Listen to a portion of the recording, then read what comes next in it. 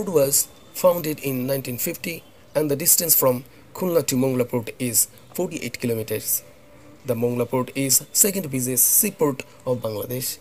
We had to take entry pass from Mongla Port Authority to enter here.